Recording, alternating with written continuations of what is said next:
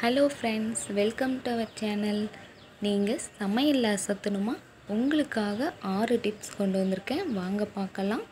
First நம்ம sweet செஞ்சோம்னா எப்பொழுதும் ஈக்கள் வந்து உட்காந்துருக்கும் அதை போக்க நம்ம என்ன தான் க்ளீன் பண்ணாலும் ஈக்கள் வந்துக்கிட்டே தான் இருக்கும்.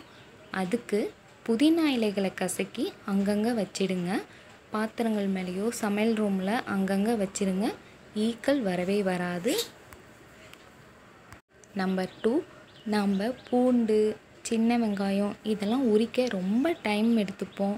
ரொம்ப கஷ்டமாக இருக்கும். அதிகமாக செய்யும் பொழுது ரொம்ப கவலையாக இருக்கும்.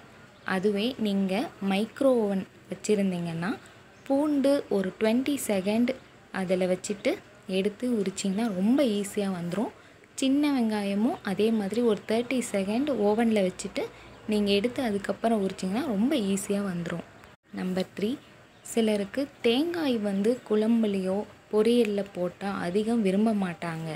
அவங்களுக்கு தேங்காய்க்கு பதிலாக கசகசாவை அரைச்சி யூஸ் பண்ணுங்கள் டேஸ்ட்டும் சூப்பராக இருக்கும். கண்டிப்பாக எல்லாருக்கும் பிடிக்கும். செஞ்சு பாருங்கள் குருமா பொரியல் குழம்பு எல்லாத்துக்குமே தேங்காய்க்கு பதிலாக கசகசா யூஸ் பண்ணலாம்.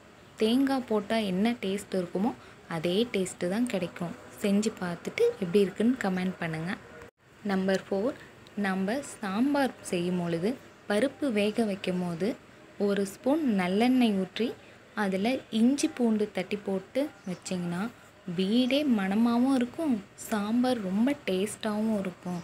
பருப்பும் சீக்கிரம் வெந்துடும் ரொம்ப டேஸ்ட்டாகவும் இருக்கும்.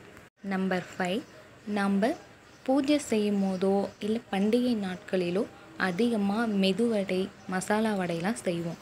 அது மீந்துடுச்சுன்னா ரொம்ப கஷ்டமாக இருக்கும். எண்ணெய் விற்கிற விலைக்கு இதை வந்து நம்ம அதிகம் செய்ய மாட்டோம். எப்போயாவது தான் செய்வோம்.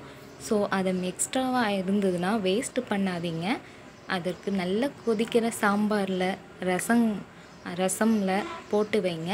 ஊற வச்சுட்டு மறுநாள் எடுத்து சாப்பிடுங்க. ரொம்ப டேஸ்ட்டாக இருக்கும். நம்பர் சிக்ஸ் நிறைய பேருக்கு பாகற்காய்னா பிடிக்கவே பிடிக்காது.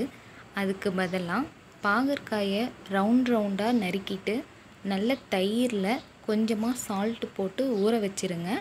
ஒரு ஒரு நாள் ஊற வச்சுட்டு பின்ன திருப்பி நல்லா காய வச்சு வற்றலாக்கிடுங்க இதை நீங்கள் வந்துட்டு மெத்த சாதத்தோட தொட்டுக்க சாப்பிட்லாம். தயிர் சாதத்தை கூட கடிச்சிட்டு சாப்பிட்லாம். ரொம்ப டேஸ்ட்டாக இருக்கும். யாரும் பாகற்காய் பிடிக்கலன்னே சொல்ல மாட்டாங்க.